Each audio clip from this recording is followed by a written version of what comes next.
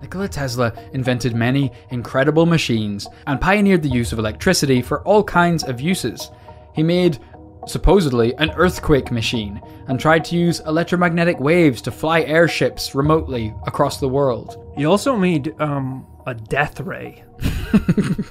Lesser was talked about. Yeah. famously, you know, Oppenheimer, he created the technology that created the atomic bomb, and he was um, famously torn apart by this. Uh, he watched the bomb explode, and he quoted the Bhagavad Gita, you know, "I become death, destroyers worlds."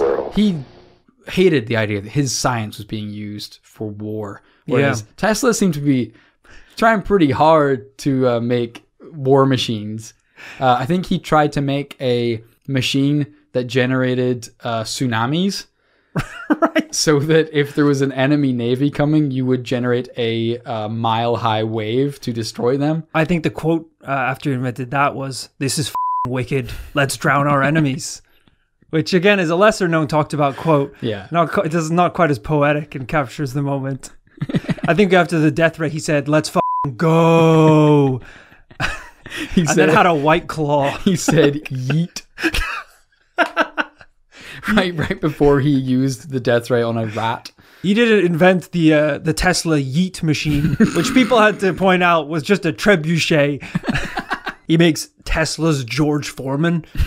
People are like, you don't have to call it George Foreman if it's yours, Tesla. You can just call it the Tesla Grill. this is this is needlessly confusing.